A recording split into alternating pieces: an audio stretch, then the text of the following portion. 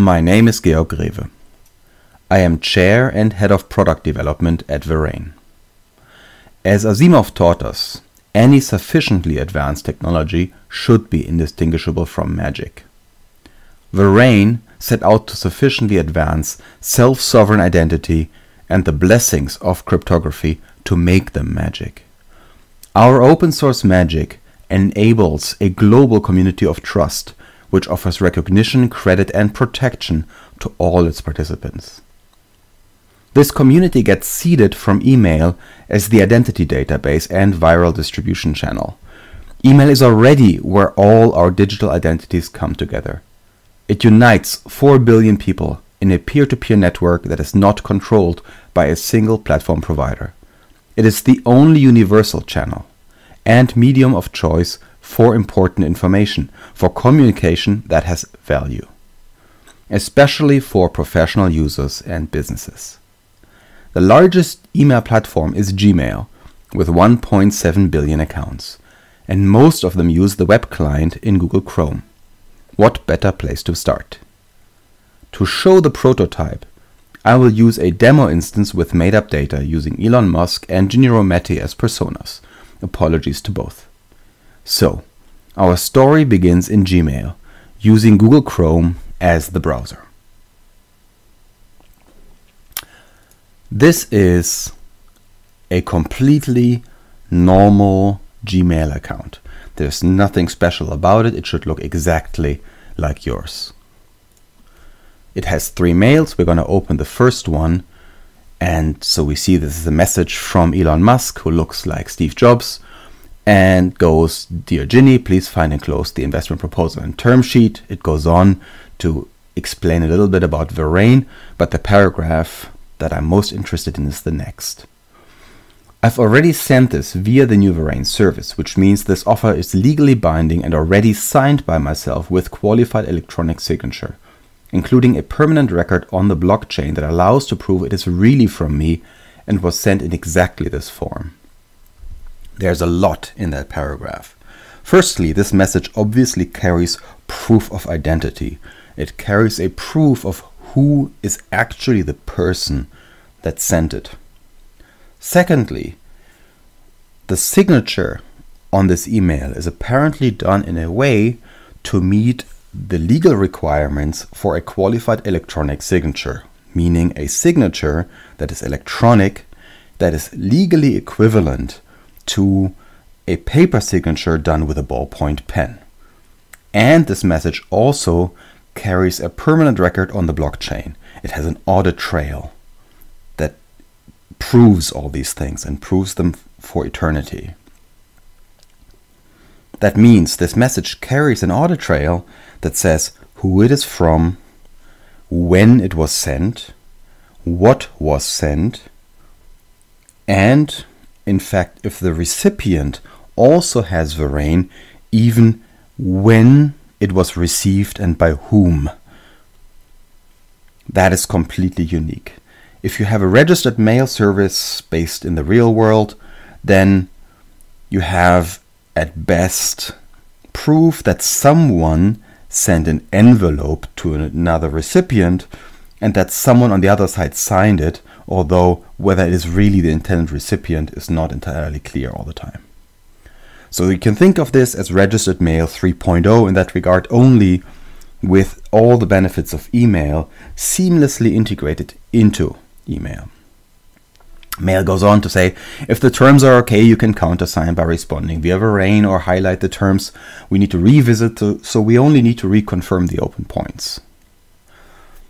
And it also goes to go a little bit into the future use cases for this, because of course you can now think of sending email in cases where so far you're not allowed to use it. KYC is a jargon word from the banking world which means know your customer, so know who is on the other side, know who you are interacting with, make sure you're talking to the right person. And that's exactly the problem that you face with medical information, legal information, banking information. You need to make sure it reaches the right party. Email traditionally has not been able to do that, which is why it could not be used for these purposes. Vereign enables these kind of use cases on email because we can now say this message must be read by this person and I must have that person certified, verified to a certain standard.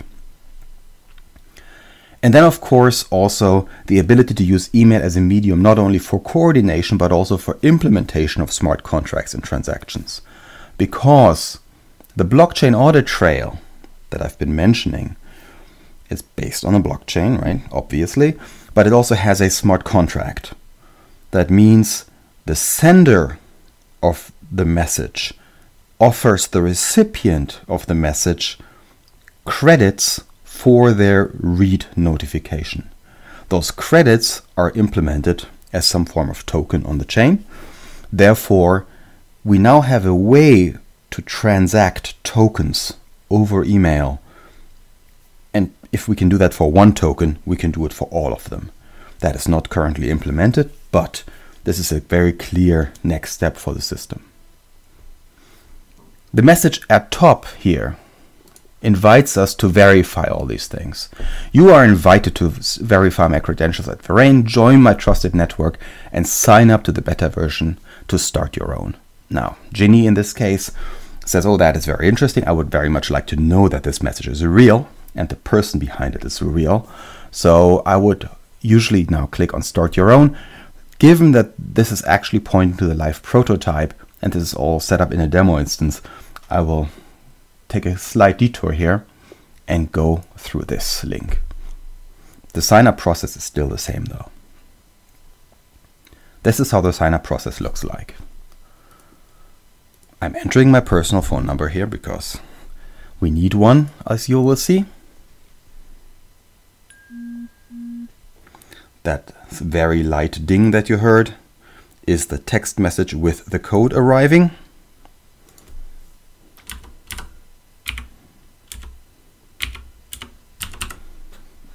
Enter the code. And now I need to quickly enter my oh,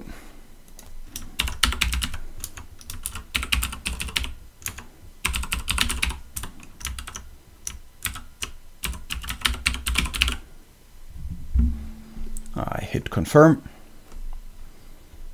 And I need to agree to the terms And that was it. That was everything I had to do. There was a very um, slight second thing, in case you heard it, um, which says, Welcome to Vereign. You now have an identity. And in fact, I already have my identity. All I need to do here is quickly enter my PIN code that I choose to, to encrypt the access on this device. I skip the tour for now because we're in a demo anyway. And that's it. You are in your dashboard here. This is your Vereign dashboard. You have a full identity. That is everything it took. It's literally a couple of seconds and you're in there because for us, we wanted to make it so simple to use that it does feel like magic. It needs to become seamless, which is why we made it that simple. Now we have an identity here and you see this contains all the data we have entered so far we see that the phone number is validated because we validated it over the over the code. The email address is not yet validated. So I can say, all right, I want to do that. I request a code. I go back into my inbox. I see I've received the code.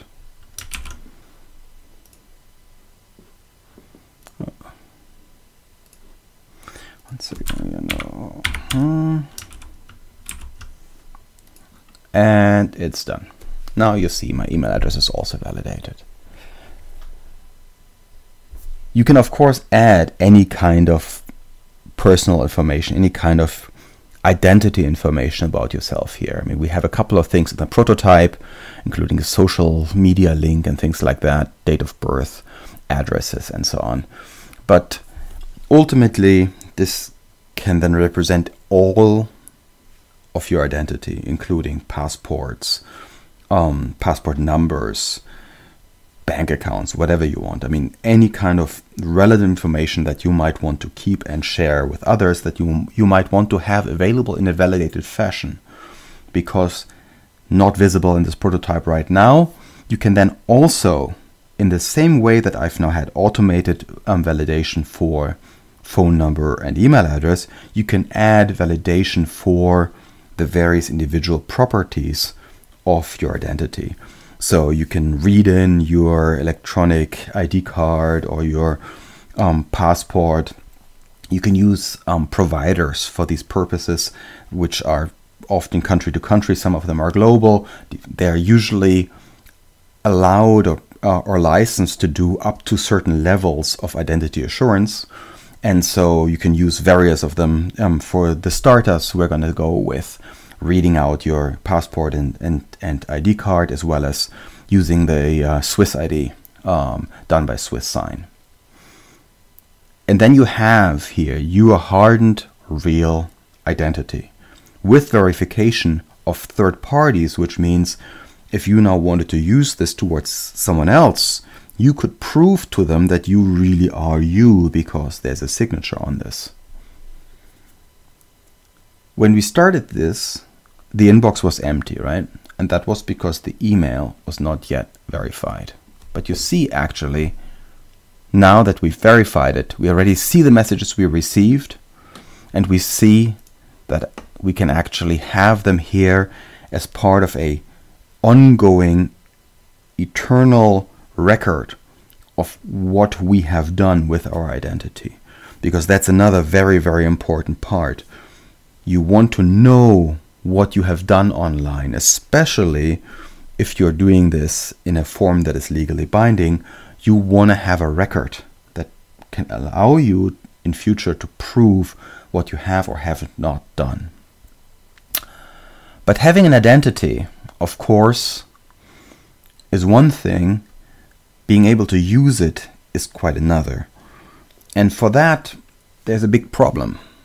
Because you see, you don't want to tell everyone everything about you all the time for any kind of interaction. You want to be in control of what you can actually share with someone else. And for exactly that purpose, we have come up with the concept of passports. You see that there's already three passports here. The system creates three by default for different purposes. Um, so you don't have to be an expert in passport management when you set up Vereign, but ultimately you can add any number of passports down here. So you can create as many as you want, and you can then edit them as well. So for instance, this one, my email passport has my email address, my name. I can also add the phone number like this. It is really extremely simple to do so. A passport is like a window into your identity a window that only shows what you want to show, that only shows to the other side as part of a transaction what you were willing to share with them. In fact, you can then also add zero knowledge proof obfuscation to passports. So you can say, this passport contains that I am really a human being and I live in Switzerland, but it does not contain my address or um, my birth date or something. I can prove my age without revealing when exactly I was born. That is what zero knowledge proof can be used for, and passports allow to very naturally model that in because you would create passports for types of interactions. If you have a banking passport and a friend's passport and one for social media and one for your work, perhaps, then all these passports can be different and can represent only the parts of you that are relevant for the context. Passports allow you to define context. The last step we have to do is we have to pull down the plugin. You see there's a Chrome plugin for my Gmail. I can click on that. It's already in the store. You can now um, add this to, to your Chrome. I've already installed it, so I'm not going to click this button. That's the only step I'm going to skip here. But um, you're very invited to actually do that for yourself. Because now if we go back into our inbox and we click on the little Vereign icon, you see that it actually realized, oh, there's a Vereign identity in the local browser cache. I can now add you Verraining capabilities to your Gmail. So you unlock the key with your PIN that you've chosen during sign up, and voila, you're in. That is really everything you had to do. Now you have your little Vereign bar up here, and the Vereign bar is very, very simple on purpose. You see, it sh shows me which passport I have chosen, so which identity view I am working with, which transactional context I am in. And it shows me the, the rain bar is active. That's everything it does. That's everything I need because from now on, every message while this is active is automatically going to be Vereigned. So I can go in here. Um, I can say, oh, that's um, I can confirm this, say yes, I'm interested. And you see Gmail works the exact same way, right? I mean, the only difference is that down here I have a little visualization that tells me Vereign is enabled. But now I can just click on this. I can say, yes, I'm interested. I can respond. And that's really everything I have to do. Um, I can now use Gmail as I am normally using it. I do not need to change my habits. I need to not need to do anything different. And that is extremely important for us. We wanted to build something that allows users to keep their habits, to work in the way that they have always worked, in the way that they like to work, because that is the only way to, to really truly reach that point where it becomes magic. In fact, if I now go back into the inbox, for instance, here, um, here, this is this one. I can see that here's my message again with the yes, I'm interested. You see this is all nicely signed and, and, and confirmed and hardened. Now, I've received this other message from Peter Test, who apparently is asking me for help. And of course, I'm now very familiar with Vereign. So um, Peter saying, "Oh, dear Ginni, please, apologies for turning to you. I know that you are more knowledgeable at this. I believe my wife and I may have been hacked. There was this mail that looked like it came from my wife, so I opened the attachment, but she said that she never sent it, has no idea where it came from." Now my wife is really scared. She's devastated that someone might have gotten the pictures of the kids when they were really still young, and we have no idea whether they also got access to our accounting. We try to follow all these tips, but we really have no idea what else may have been compromised, and it seems we may never know. We spend days to change all the credentials, yet have no idea what is necessary, whether it will solve the issue or whether it's already too late. And this is all very, very real. Um, most people don't like to talk about this, but it has happened to more people than um, one would care to admit or, or, or realize. Um, and the invasion into your digital life is quite as real as an invasion into your personal space, like physically at home. Um, when you find your apartment um, torn up and someone went through everything and your underwear and whatever, um, your pictures, your desk, um, there is a feeling of violation that is very real. In fact, I've seen it from people who've been telling me about their own experiences in, in this field. And the other part is that with the traditional identities and systems and virtually every single password that you have is a key, a secret to an identity that lives somewhere that represents you to some extent, that contains you. And digital is just as real as physical. There's no difference for us these days anymore. The digital world is very, very real. So every one of these passwords, when it gets stolen, it can be stolen on any device, it can be stolen anywhere um, on a server.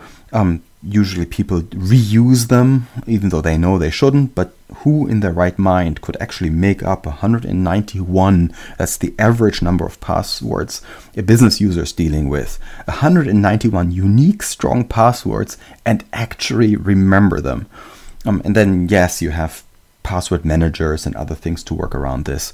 But frankly, they are not good because they all put a single point of failure into the system.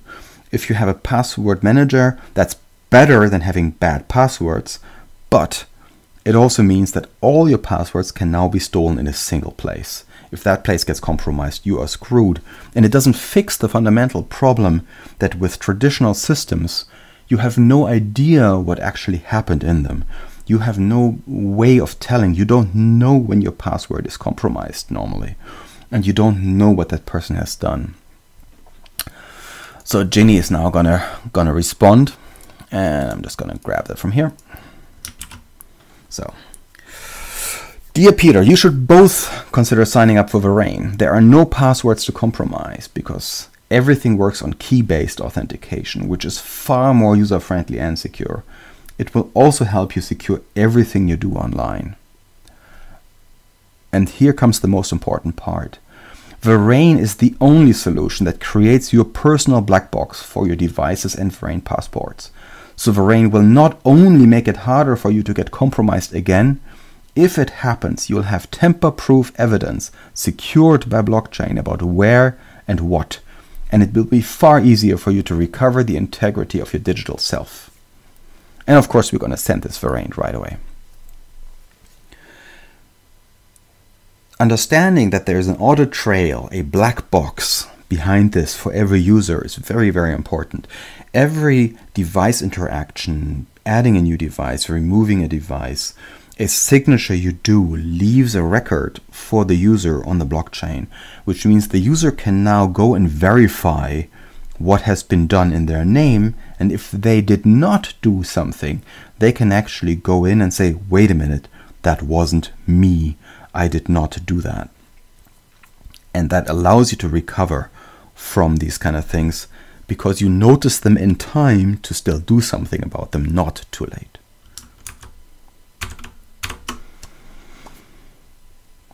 And we're quickly going to switch over to Thunderbird here because that is what Peter is using. Now we are Peter and we receive Ginni's mail. In fact, you now see again, Ginni uh, is inviting him to to actually verify her credentials at Vereign and sign up there. But what I wanted to show you here, because this is a regular Thunderbird, there is nothing modified about it, is that legacy clients can still work with the messages that Vereign sends, because I have deliberately avoided to talk about email signature and cryptography up to this point. What you see here is the symbol that Thunderbird uses to show this message is correctly, validly signed. And we're quickly going to look into this. I don't want to get too technical, but just to give you an idea. So we can open this and we can see here that this whole thing has been signed.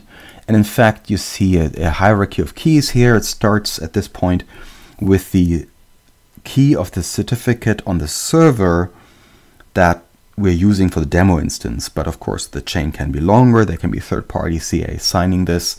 You can have cross-signing with other instances and, and um, institutions. All of that you can do. But what is important here is that you have a server-side certificate, and that is the server-side certificate of your passport. You have a user device, that is the passport certificate on the device, in this case the browser from which I sent the message and you have a one-time certificate.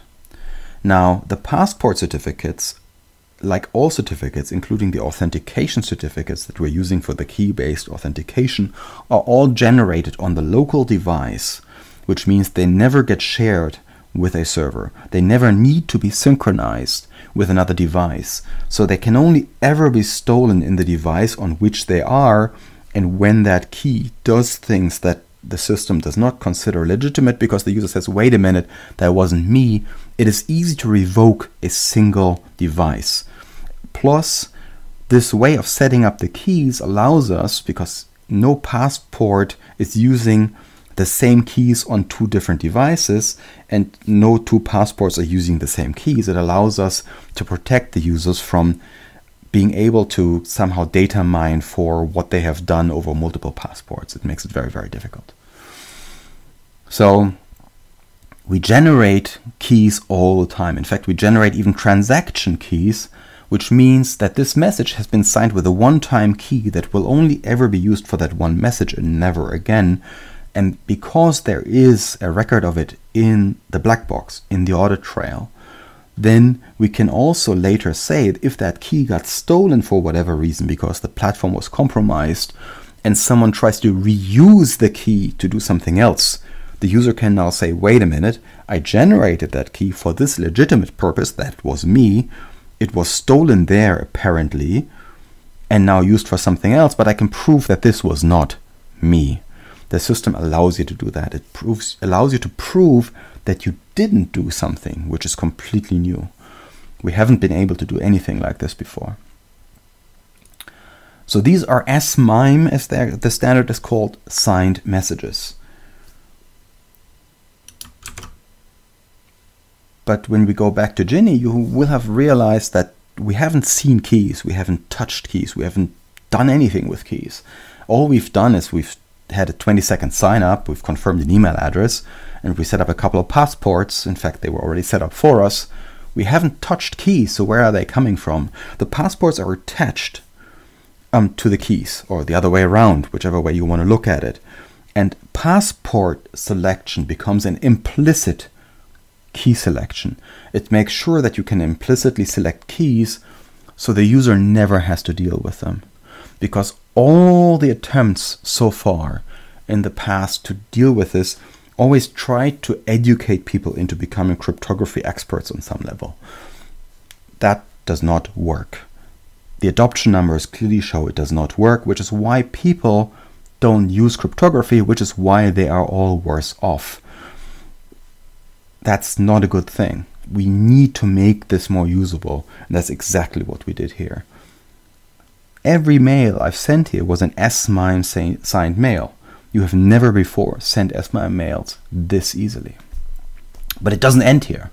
In fact, we got another message here from, from Elon, and um, you see that actually now for the for the second and consecutive messages, the system switches to this kind of ID card underneath that shows you who you're interacting with. You see um, name, email, mobile number, even a social, like a Twitter account here for, for Elon um, that he has shared with you. And this is the data that Elon put in his passport that he was using for the interaction with Ginni.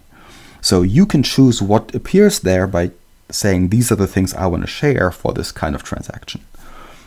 And so, of course, little invite again. But the important part is Dear Ginni, also could you please sign the contract I placed into our Nextcloud instance at demo collabora Vereign.com. I'm going to click on that. This is a Nextcloud um, with a couple of things in there. I'm just going to go into the contract here.